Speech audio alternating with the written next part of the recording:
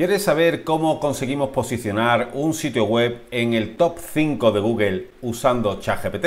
Pues toma nota. Hola, ¿qué tal? Mi nombre es Juanjo Gallardo y hoy te quiero mostrar cómo utilizamos ChatGPT cuando vamos a posicionar una keyword en concreto. En esta ocasión se trataba de un post que ya llevaba tiempo publicado, pero no conseguíamos rankear bien. Así que fuimos a ChatGPT y colocamos el siguiente prompt. Le decimos que queremos que nos responda como un experto en posicionamiento SEO. Esto es importante para que él adquiera el rol que necesitamos. Y a continuación le pedimos que nos dé una estructura para el contenido de una publicación en mi blog sobre cómo pintar sobre barniz. Este término es un término informacional que tenemos en un sitio web que en realidad es un e-commerce, ¿vale? Entonces, lo que intentamos hacer con esta estrategia es captar tráfico de gente que está buscando esta intención de búsqueda informacional para poder después trasladarlo a una parte de la web donde vendemos ciertos productos.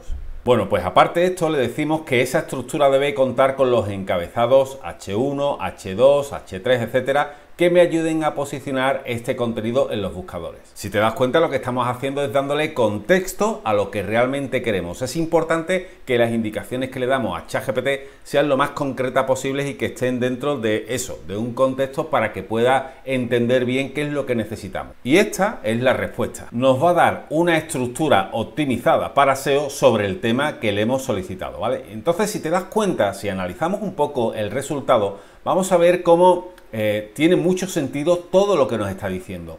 Entiende que eh, este concepto de pintar sobre barniz es una guía y que esa guía debe de ser un paso a paso. Entonces nos da la siguiente estructura. Primero, ¿por qué pintar sobre barniz? ¿Vale? Porque hay algunos casos en los que es necesario y otros no, los beneficios de pintar sobre barniz, situaciones comunes, fíjate, esto es importante eh, que se entienda que no siempre eh, es necesario pintar sobre barniz, ¿no? Situaciones comunes. Después, la preparación previa. Aquí empezamos ya con el paso a paso, ¿no? Bueno, pues los materiales necesarios, listado de materiales esenciales, recomendaciones de marcas y herramientas, todas estas cosas también las podemos nosotros modificar un poco, ¿vale? Esto es simplemente una guía de una estructura que después podemos variar. Después, seguridad y precauciones, paso a paso para pintar sobre barniz. Aquí entramos ya en materia. Nos habla de la limpieza de la superficie, del lijado, de la, aplicación de la imprimación, es decir, eh, la sensación de que este contenido lo ha hecho un profesional eh, que se dedica al tema de la pintura, ¿no? O sea que en realidad tiene mucho sentido que nos dé toda esta información basándose en una estructura bien organizada. La pintura en sí, elección de la pintura adecuada, técnicas de aplicación, aquí ya es donde podemos nosotros empezar a colocar enlaces a nuestros productos para convertir una intención de búsqueda informacional en una intención de búsqueda transaccional. Después hablamos del sellado y el acabado, errores comunes, ¿no? Problemas de adherencia, burbujeo, descascarado, desigualdad en el acabado.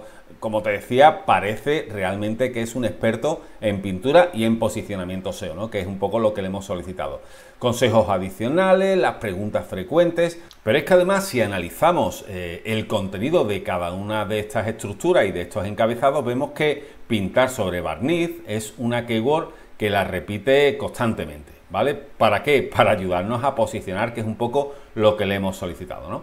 Pero es que además de esto nos da ideas de recursos adicionales que deberíamos de tener, como por ejemplo enlaces a videotutoriales, enlaces a artículos relacionados, ¿no? que esto también es importante, el interlinking, productos recomendados. Eh, en el caso de enlaces de afiliado, por ejemplo, si tienes una web de afiliado, pues aquí es donde deberías de colocar eh, esos enlaces, comentarios, opiniones, compartir en redes sociales, en fin, no solamente nos da la idea de la estructura que después deberíamos de aplicar, sino que además nos da esos consejos adicionales para que este contenido llegue a la mayor cantidad de gente posible. Bueno, pues ¿qué hicimos? Cogimos el post que teníamos, lo modificamos en base a esta estructura y optimizamos el SEO.